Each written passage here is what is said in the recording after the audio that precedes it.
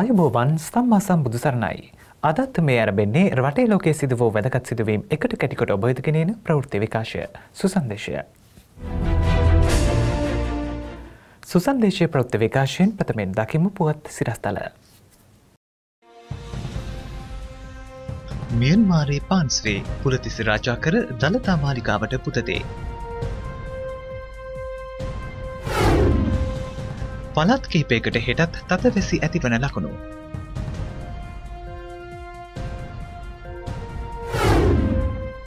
ගංගතුර තර්ජනය පහවයන්න ලකුණු පෙනුනත් හමුදාව වතුරට බහින්න සූදානමින්.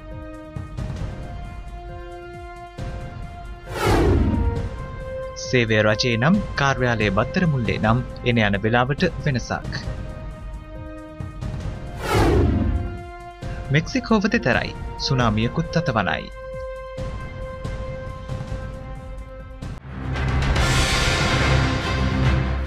මියන්මාරයෙන් ලැබුණු ඇත් පැටවා පුලතිසිර් රාජා නමින් නම ලැබ ජනපති සුරතින් දළදා මාලිගාවට පූජා කෙරේ.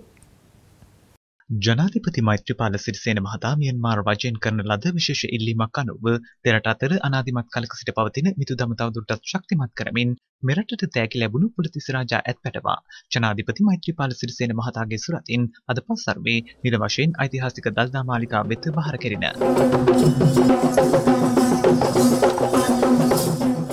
අද පස්තරුවේ ඓතිහාසික දළදා මාලිකාව වෙත ගිය ජනාධිපතිතුමා පළමුව ඓතිහාසික දළදා සමිඳුන් වැඳ පුදාගෙන ආශිර්වාද ලබා ගත්තේය. අනතුරුව ඓතිහාසික මඟුල් මඩුවේදී පැවති උත්සවයේදී ඇත්පැටවා දළදා මාලිකාව වෙත පූජා කිරීමට අදාළ සංදේශය දියවඩන නිලමේවරයා වෙත බාර දෙනු ලැබිය. ඉන්දියාවේ ගෝවා නගරේ පැවති බ්‍රික්ස් බිම්ස්ටෙක් සමගාමී සමුළුවට සහභාගී වූ අවස්ථාවේ ජනාධිපති මෛත්‍රීපාල සිරිසේන මහතා විසින් මියන්මාර් රාජ්‍ය මන්ත්‍රණ සභාවේ සමාජිකා මියන්මාර් විදේශ කටයුතු ඇමතිනි අවුන් සාන් සුකී මහත්මිය ගෙන කරන ලද ඉල්ලීමක් අනුව මෙම ඇත්පැටවා ශ්‍රී ලංකාවට පරිත්‍යාග කෙරින. වයස අවුරුදු 24ක් වන මෙම ඇත්පැටවා මියන්මාරයේ සිට නැව් මගින් මෙරටට රැගෙන විත් පසුගිය මාස 18 වනදා ත්‍රිකුණාමල වරායෙන් කොට පසා ඓතිහාසික දළදා මාලිගාව වෙත රැගෙන විත් එහි ඇත් පන්තියට ඇතුළත් කෙරින. අනතුරුව චාරිත්‍රානුකූලව මෙම ඇත්පටවා පූජනීය දළදා සමිඳුන් ප්‍රධාන ත්‍රිවිධ රත්නය උදෙසා කටයුතු කරන වස් ජනාධිපතිතුමාගේ සුරතින් අද ඓතිහාසික ශ්‍රී දළදා මාලිගා වෙත පූජා කිරීම සිදු විය. ඇත්පැටවා දළදා මාලිකා වෙත පූජා කළ ජනාධිපතිවරයා ඇත්පැටවා වෙත පළතුරු සංග්‍රහයක්ද සිදු කළේය. එමෙන්ම ඇත්පැටවා බහරව කටයුතු කළ මියන්මාර් ජාතික ඇත්ගව්වන් දෙදෙනා වෙනුවෙන් තිල්න ප්‍රධානය කිරීමක්ද සිදු කෙරින.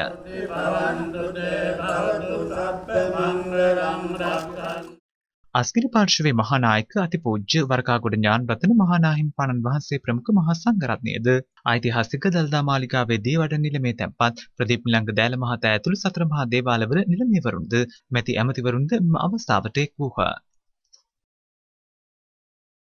පළාත් කිහිපයකටත් හෙට තද වැසේ කැලණිගඟ සහ අත්තන ගළුගඟ ගැනත් අවධීන් සිටින්නයි කාලගුණයෙන් අවවාද. දිවයිනේ නිර්තදික කොටසට බලපා ඇති වැසි තත්ත්වය තවදුරටත් පවතිනු ඇතැයි කාලගුණ විද්‍යා දෙපාර්තමේන්තුව සඳහන් කරයි. බස්නාහිර සබරකමුව සහ මධ්‍යම යන පළාත්වලට මෙන්ම ගාල්ල සහ මාතර යන දිස්ත්‍රික්කවල ඇතැම් ස්ථානවලට මිලිමීටර් 100ත් 150ත් අතර ඉතා තද වැසි අපේක්ෂා කරන බවද කාලගුණ විද්‍යා දෙපාර්තමේන්තුව සඳහන් කරයි. වැඩිම වර්ෂාපතනය රත්නපුර දිස්ත්‍රික්කයේ ඉලිපුළුව ප්‍රදේශයෙන් වාර්තා වී තිබූ අතර ඒ සටහන් වූයේ මිලිමීටර් 185ක් ලෙසයි. කෙසේ වෙතත් අයහපත් කාලගුණ තත්ත්වයේ හේතුවෙන් බලපෑම් මෙල්ල වූ රත්නපුර සහ කළුතර දිස්ත්‍රික්කයන්හි ඇතැම් ප්‍රදේශවලට බලපෑ ගම් වතුර තත්ත්වය මේ වන විට පහව යමින් පවතින බවද වාර්තා වේ. කුකුලේගඟ ජලාශය වාන් දොරටුවක් තවමත් විවෘතව පවතින අතර කැලණිකඟේ සහ අත්තනගලුව ඒ ජල මට්ටම් ඉහළ යාම පිළිබඳ අවධානයෙන් පසු විය යුතු බව පරිමාර්ග දෙපාර්තමේන්තුව අනතුරු වඟබයි. ප්‍රදේශ කිහිපයකට බලපෑ ජලකැලීම් තත්ත්වය පහව යමින් නැතැයි වාර්තා වේ. ප්‍රදේශ කිහිපයකට බලපා තිබූ ජලකැලීම් තත්ත්වය පහව යමින් පවතින බව ආපදා කළමනාකරන මධ්‍යස්ථානයේ පවසයි. එම මධ්‍යස්ථානයේ නියෝජ්‍ය අධ්‍යක්ෂ ප්‍රදීප් කොඩිප්පිලි මහතා සඳහන් කළේ දිස්ත්‍රික්ක හතරකට පනවා ඇති නායයම් අවදානම් නිවේදනය තවදුරටත් ක්‍රියාත්මක බවයි. මේ අතර අයහපත් කාලගුණ තත්ත්වයේ හේතුවෙන් රත්නපුර දිස්ත්‍රික්කයේ අධ්‍යාපන කොට්ටාශ පහක සියලු පාසල් අද දිනේ වසා දැමින. රත්නපුර ඇහැලියගොඩ ඇලපාත කුරුවිට සහ අයගම යන අධ්‍යාපන කලාපවල පාසල්වලට අද දිනේ නිවාඩු ලබා දීමට පියවරගෙන තිබින. පවතින වැසි සහිත කාලගුණ තත්ත්වය ඉදිරිදින කිහිපය තුළද පවතින බව කාලගුණ විද්‍යා දෙපාර්තමේන්තුව සඳහන් කරයි. ගංවතුරක් ආවොත් යුද හමුදාවත් සීරුවෙන්. දිවයිනේ ප්‍රදේශ කිහිපයකට ඇතිවී තිබෙන අයහපත් කාලගුණික තත්ත්වය සමග ඇදහැලෙන ධාරානිපාත වර්ෂාව හේතුවෙන් විපතට පත්විය හැකි සිවිල් ජනයා ගලවා ගැනීමේ සහ සහන මෙහෙයුම්බල නියැලීමට යුද හමුදාපති ලුතිනන්ට් ජනරල් මහේෂ් සේනානායක මහතාගේ උපදෙස් මත දිවයින පුරා යුද හමුදා බටපිරිස් සිය ගණනක් සූදානමින් සිටින බව යුද හමුදා මූලස්ථානයේ සඳහන් කරයි. කෑගල්ල රත්නපුර ගාල්ල මාතර කළුතර කුකුලේකඟ බුලත් සිංහල අගලවත්ත සහ කුරුවිට යන ප්‍රදේශයන්ට ඇදහැලෙන අධික වර්ෂාපතනය හේතුවෙන් ප්‍රදේශයේ ජල මට්ටම සීග්‍රීන් වැඩිවෙමින් පවතින බවට ලැබී ඇති වාර්තා අනුව හදිසි අපදා අවස්ථාවන්ට මුහුණ දීම සඳහා බටහිර ආරක්ෂක සේනා මූලස්ථානයේ බටපිරිස් මේ වන විට එම අවදානම් සහිත ප්‍රදේශයන්හි ස්ථානගතව සිටින බවත් එම නිවේදනයේ දැක්වෙයි. තවද හදිසි තත්ත්වයකදී භාවිත කිරීමට ජලයේ ගමන් කළ හැකි සන්නද්ධ රථ හයක් සහ බෝට්ටු කිහිපයක්ද සූදානම් කර ඇතැයි වාර්තා වේ. වැඩ වැඩ සහ තවත් වැඩකොට අපේ නිෂ්පාදනයෙන් අපේ ශක්තියෙන් අපේ රට ගොඩගන්න මේ ඒ පිළිබඳව ඔබේ දැනගැනීම පිණිසයි. ඔබී දැනගැනීම පිණිසයි.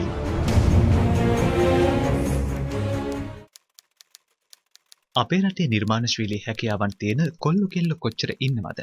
ඉස්කෝලේ යන අපේ පොඩි එවුනුත් හොඳ නිර්මාණ ශිල්පීන්. අපේ පෙර රජ දවසේ ඉඳලම අලුත් අලුත් නිර්මාණ කරලා තියෙනවා කියලා අපේ ඉතිහාසෙත් ඕනේ තරම් සාක්ෂි තියෙනවා. රයිට් සහෝදරයෝ ප්ලේන් එක හදන්න හිතන්නත් අවුරුදු සිය ගානකට කලින් තමයි අපේ රාවණා රජුරුවෝ දඬු මොනරේ හදලා ගුවනේ ගමන් ගියේ. ඒකට දඬු මොනරේ කියලා කිව්වට ගුවන් යානය කියලා කියන්න අපේ දිවවල් නැමුණෙත් නැහැ. සුද්දා එහෙම ඉතිහාසයක් ලියන්න අපිට ඉඩක් තිබෙත් නැහැ. සීග්‍රිය නිර්මාණ ශිල්පය අදටත් ලෝක නිර්මාණ ශිල්පීන්ට අරුමයක්. අපේ වාරික්‍රමය ලෝකෙටම තවමත් ගැටලුවක්. අපේ පෙර රජ දවස අපේ ගෘහ නිර්මාණ ශිල්පීන් කරපු නිර්මාණ අද නටබුන් වුණත් ලෝකෙ කප් ගහපු ගෘහ නිර්මාණ ශිල්පීන්ටත් අපේ පෙර රජ දවස හදපු රජමාලිකාවල් මහක් ගෙවල් වලව් නටබුන් දැක්කත් තවමත් හොල්මන්.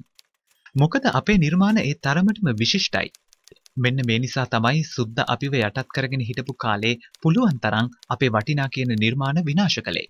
මොකද සුද්දන්ට මේයි කියලා පෙන්වන්න ඒ කාලේ මොනම දෙයක්වත් තිබෙන්නේ නැහැ. ඉතිහාසයක් නැහැ. ඒ නිසා තමයි ඉංග්‍රීසීන් රටවල් අල්ලගෙන අනුන්ගේ ඉතිහාසය අනුන්ගේ නිර්මාණ ඒ අයගේ නිර්මාණ කරගන්න වලි කෑවේ. ඒ කාලෙත් හොඳ හොඳ නිර්මාණකාරයෝ අලුත් නිෂ්පාදන කරන්න පුළුවන් හොඳ වැඩකාරයෝ අපේ රටේ හිටියා. සුද්දා අපිව යටත් කරගෙන ඉන්නකොට ඒ වගේ අපේ දක්ෂයින්ගෙන් හොඳට වැටගත්තා. අපේ දැනුම අපේ හැකියාව සුද්දගේ කරගත්තා. අපිට නිදහස දීලා අපෙන් නිදහස් වෙලා සුද්දගේ අපේ ගොඩක් මොලවලුත් හොදගෙන. අපෙන් නිදහස් වෙලා ගිය සුද්දා අපේ හැකියාවට එදත් වැටබැන්දා. අදත් වැටබඳිනවා. ඒවට හරියන්න අපේ කළු සුද්දොත් සුද්දගේ පදයටම නටනවා. අද අපේ නිර්මාණකරුවෝ හොඳ හොඳ නිර්මාණ අලුත් නිපැයුම් එළියට දැම්මත් ලද සැනින් එසැනින් ඒවා ලොස් කරලා දාන්න සුද්දොත් කළු සුද්දොත් දත කට මැදගෙන ඉන්නේ.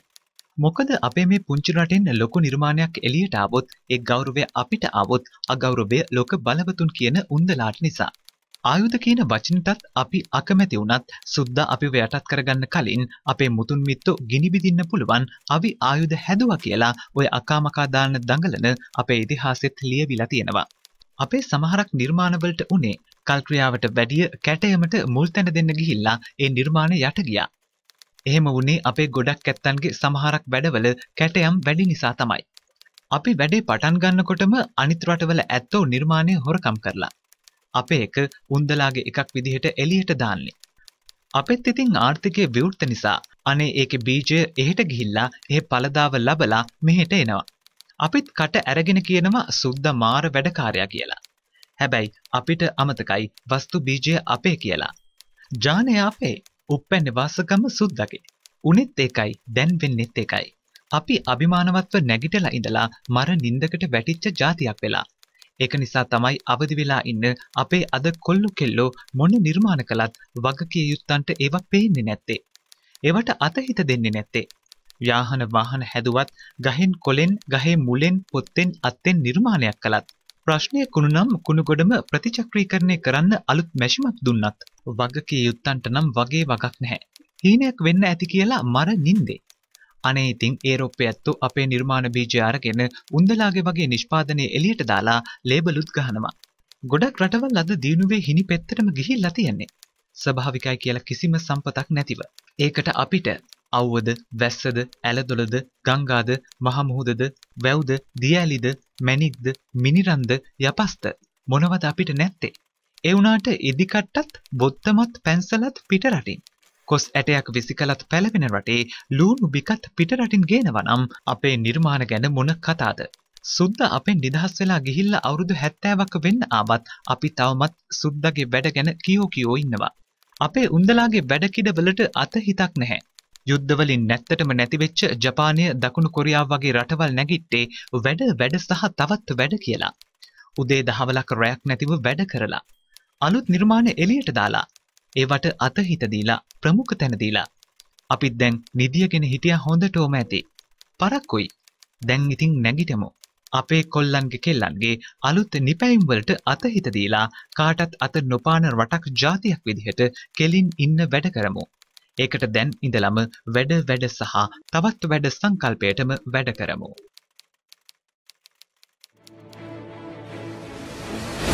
ඔබී දැනගැනීම පිණිසයි. කාසල්රී සහ මාවුසා කැලේ ජලමට්ටම් පිටාර මට්ටමේ විදුලි නිෂ්පාදනයත් උපරිමයෙන්. මධ්‍යම කඳුකරේ ජලපෝෂික ප්‍රදේශවලට පසුගිය දිනවල කඩින් කඩ ඇදහැළුණු අධික වර්ෂාවත් සමග කාසල්ඩි සහ මවුස්සා කැලේ ජලාශවල ජල මට්ටම පිටාර මට්ටමට ආසන්න වී ඇති බව විදුලි බල මණ්ඩලය පවසයි. කාසල්රි ජලාශය පිටාර මට්ටමට අඩි හතක්ද මවුස්සා කැලේ ජලාශය අඩි අටක් වශයෙන්ද පවතින බව විදුලි බල මණ්ඩලයේ ආරංචි මාර්ග කියා සිටී. එම ජලාශවල ජලමට්ටම ඉහළ යාමත් සමග ලක්ෂපාන නව ලක්ෂපාන කැනියෝන් පොල්පිටිය විමල සුරේන්ද්‍ර යන ජලවිදුලි බලාගාරවල විදුලි උත්පාදනය උපරිම ධාරිතාවයකින් සිදු කරන බව විදුලි බලාගාරවල ඉංජිනේරුවෝ ප්‍රකාශ කරති.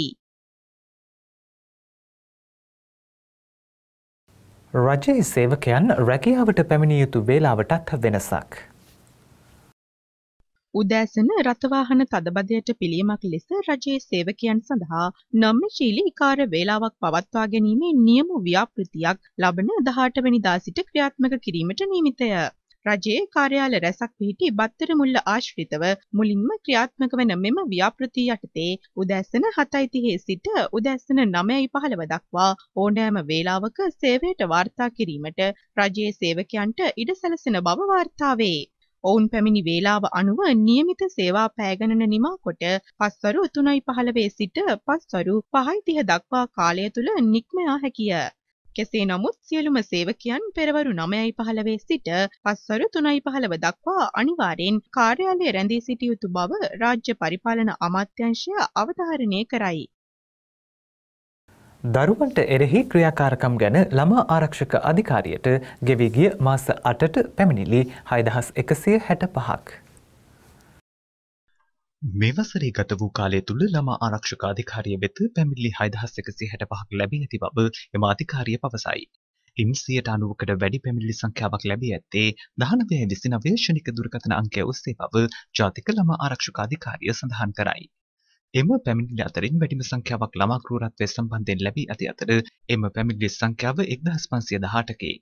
ළමුන්ට අධ්‍යාපනය නොලැබීම සම්බන්ධව පැමිණිලි 975ක්ද ළමා හිංසනය සම්බන්ධයෙන් පැමිණිලි 365ක්ද ළමයින් නොසලකා හැරීම සම්බන්ධයෙන් පැමිණිලි 222ක්ද ලැබී ඇති බව ජාතික ළමා ආරක්ෂක අධිකාරිය සඳහන් කරයි.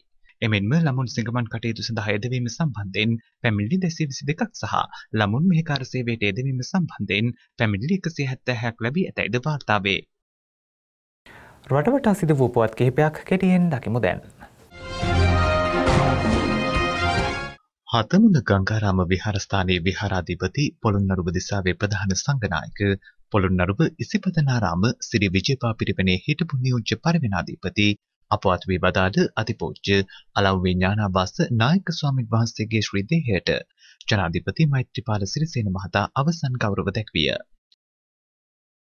බෞද්ධ අමාත්‍යාලේ කරු සභාපති ගෞරව ශාස්ත්‍රවේදී පූජ්‍යපාද දරණාගම කුසල ධම්මනාහිම්පාණන් වහන්සේගේ අනුශාසනාවෙන් බෞද්ධ අමාත්‍යාලේ පුණ්‍ය භූමි වන්දනා වැඩසටහන යටතේ පූජ්‍යපාද කුරුඳුවත්තේ ගුණරත්න ස්වාමින් වහන්සේගේ මූල්‍ය පරිත්‍යාගයෙන් හේවාදිවෙල ශ්‍රී පුණ්‍යාරාම විහාරස්ථානය වෙත නව ධර්මශාලාවේ වහලය නිම කිරීම සඳහා පරිත්‍යාගයක් අද සිදු කළේය. බෞද්ධ මාධ්‍ය ජාලය නියෝජනය කරමින් ශ්‍රී සම්බෝධි විහාරවාසී පූජ්‍යපාද අනුරාධපුරේ ධම්මසිරි ස්වාමින්වයන් වහන්සේ විසින් පූජ්‍යපාද අලුත් නුවර ධම්මරත්න ස්වාමින් වහන්සේ වෙත මුදල් පරිත්‍යාග කිරීම සිදු කළහ.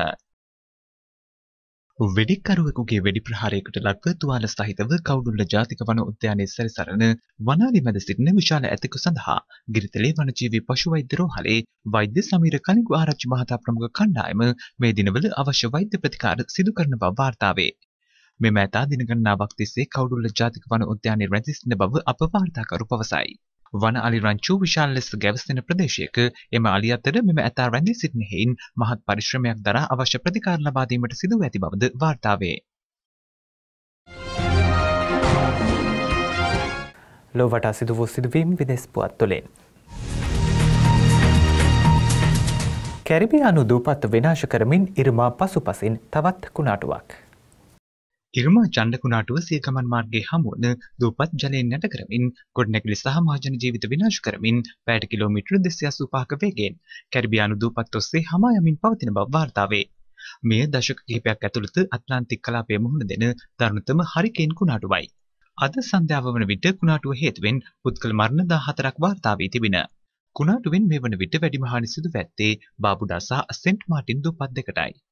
එයින් බාබුඩා දූපතේ 1600ක් පමණ ජනයා ජීවත් වන අතර සෙන්ට් මාටින් දූපත සහ මුලින්ම මෙන් විනාශ වූ බව අලුත්ම වාර්තා පවසයි. මේ අතර මාටින් දූපතද ජල ගැල්මට ගොදුරු වී ඇතැයි වාර්තා වේ.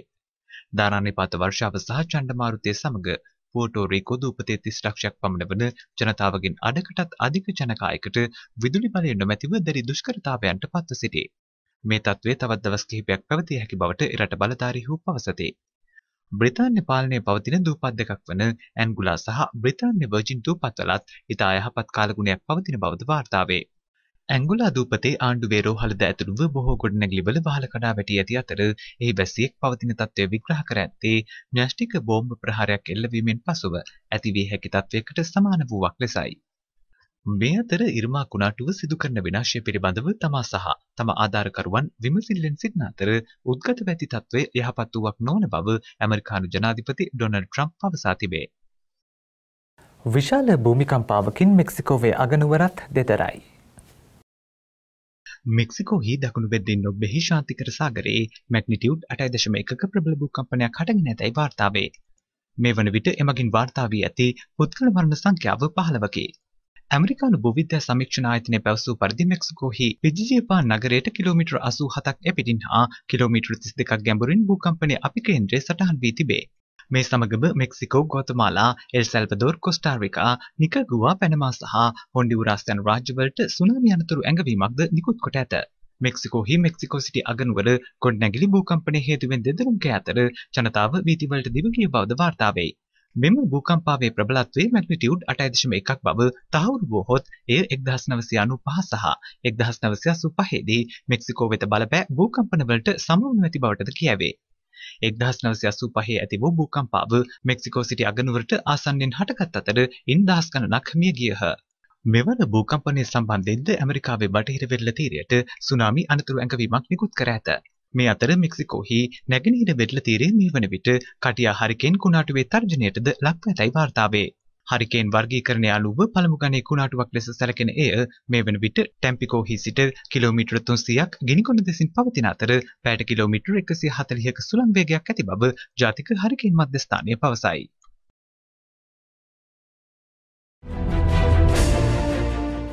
ඒත් සමගින් අදට නියමිත සුසන්දේශය ප්‍රෘත්ත විකාශය මෙතකින් නිමාවට පත්වනවා. අප යළිත් හෙට හමුවමු. එතෙ ඔබ සැමට සුභරාත්‍රයක්. සම්හා සම්බුදු සරණයි.